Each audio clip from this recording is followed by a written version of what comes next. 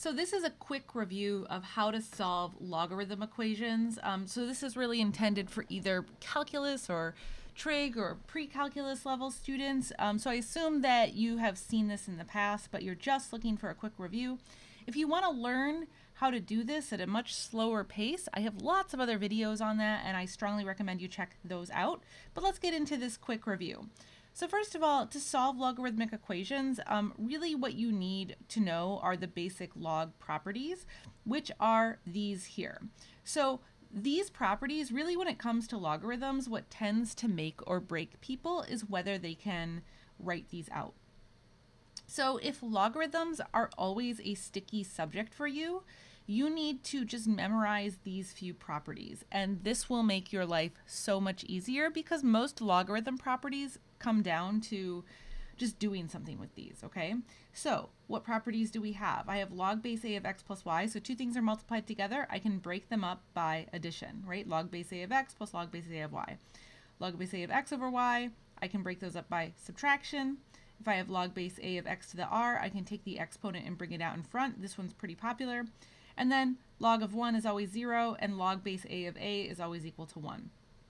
So if you know these five things, um, you're going to just make everything with logarithms so much easier. The other thing that you need to know for logarithm equations is so in general, when you have log base a of x, x has to be greater than 0. So this is important because sometimes when you solve, you will get a negative number or you will get a number that will cause this to be negative and that's a no-no because it has to be greater than zero. The other thing is that for the a, a has to be greater than zero. Also, a cannot equal one. And the reason for that, just in case you forgot, so the way that this works is if you have log base a of x equals y, I can rewrite that as, so the definition of this would be a to the y equals x. So if a were to equal 1, then that would just mean that I have this equation here would turn into 1 to the y equals 1. Like this is just weird. You wouldn't make a equal 1, then it's not an interesting equation. So for this video, to review this concept, I have these four problems that we're going to go through. So I do want to just point out that most logarithmic equations kind of break into two categories. So A and B are category one, where you have some logarithms equal to a number. See how these are equal to a single number? And then the other category would be that you have one side of logarithms equals another side of logarithms. So we'll break down how to do all of this um, in the next steps. Um, so I think that when the logarithms are equal to a number, that's like slightly more difficult. So I have log of x plus log of x squared equals 3. So the first thing that you want to do is you want to just rewrite this so that you, you, you want to get this to be a sing, single log on really the left side. And so if we think to our log properties, this is why they're so important. So if two things are being added together, then I can take whatever's here and here and multiply them. So that is where I'm going to start. So I'm going to rewrite this as log of x times x squared equals 3. So that's going to be log of x cubed equals 3. So now I've gone as far as I can and to figure out how to solve this equation, I now need to use the definition of a logarithm, which I had just shown you in the previous slide, right? So this is log base a of x equals y, if and only if a to the y equals x. So this is the formula or the definition that you use to rewrite a logarithm, and so this is what you've really got to do. So in our example, I have no number here, so when you have just log, we just assume that the base is 10. So there is an invisible base 10 right here.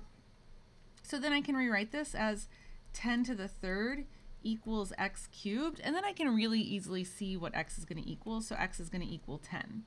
And now I just want to do that quick check, right? Because remember, I also said that this x has to be greater than 0. So you always want to just do this last check to make sure. So if x equals 10, if I plug it back into my equations, I'm all good. So we're, we're good to go for this one. Okay, so for b, now I have log base 5 of 3x plus 5 plus log base 5 of x plus 1 equals 1. So I strongly recommend for this one that you pause the video and try this on your own. Um, if you are trying to review this skill, you'll get more out of the video if you pause and try by yourself. Um, hit play when you're ready or when you're stuck. Okay, so same idea here. So this side I can multiply um, these factors together. So this is going to be log base 5 of 3x plus 5 times x plus 1 equals 1. And then I'm actually just going to go ahead and FOIL all that stuff out.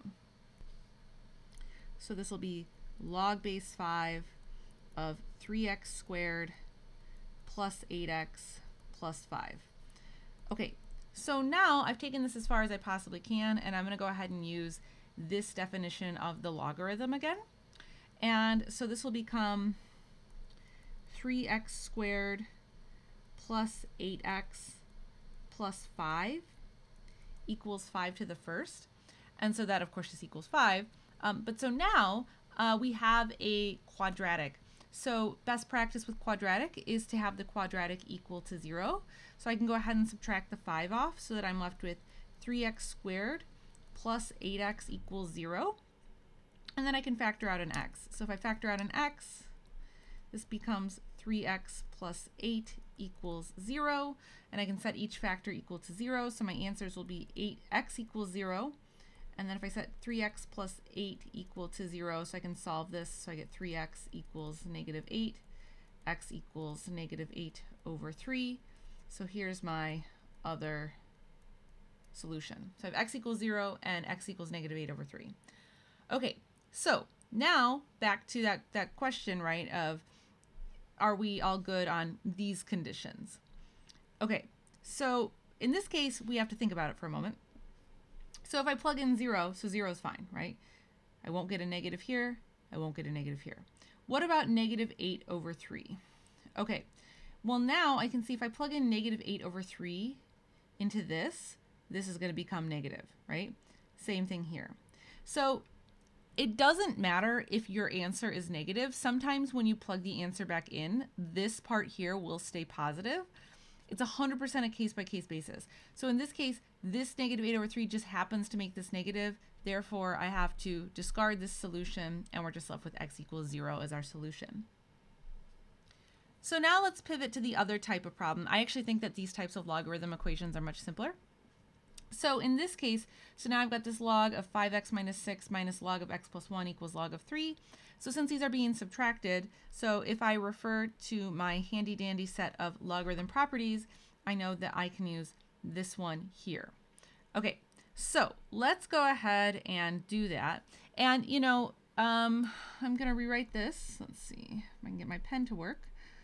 Log of 5x minus 6 over x plus 1 equals log of 3. Now notice this is one singular log, one singular log and then the insides. It's not a log over a log, right? That's not the property. It's this log and then the insides, this inside divided by this inside.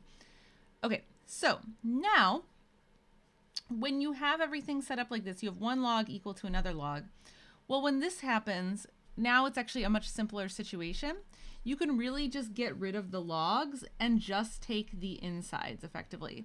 Now we're not canceling out the logs. It's just, it's really more, maybe I shouldn't draw these cancel signs. It's really more that we're just taking out the insides and setting them equal to one another. And so that's what I'm to do. I'm going to take this 5x minus 6 over x plus 1 equals 3.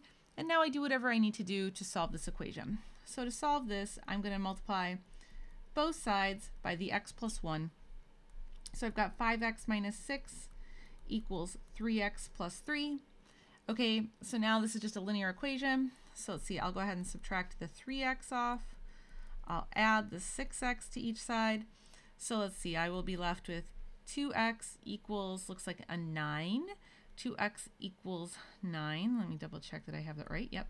So this becomes x equals 9 over 2. Okay, so once again, now we are in this situation where we have to double check this solution. So if I plug in 9 over 2 here, this will be positive. If I plug 9 over 2 into this, so I'll have 5 times 9 over 2 minus 6, and that will give me positive 16.5, so that's still a positive number. So this solution is all good in this case. Okay, so we've got one more here. So again, if you're trying to learn this, I strongly recommend that you would pause the video and give this a try on your own. Hit play when you're ready. Okay, so now I'm going to do the exact same thing. So I'm going to go ahead and just divide the insides. So this is going to equal log base 2 of 3.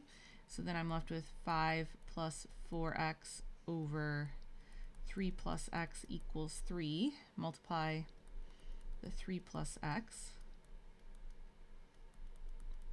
and distribute.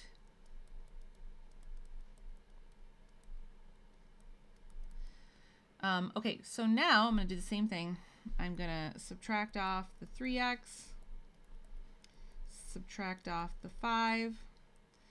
So let's see, now I'm left with x equals 4. If I take x equals 4, all good when I plug it back in, so no problem, we're all good to go. Okay, so there is your crash course of how logarithm equations work. If you found this video helpful, I would love it if you'd hit that like button or comment or share or subscribe to the channel. Um, and just as an FYI, if you found that these four examples were not enough, I would strongly recommend that you check out some of my other videos where I go in depth on how to solve logarithm equations. Um, this was really just intended to be a quick review. Thanks for watching, guys. I will catch you in another video. Peace.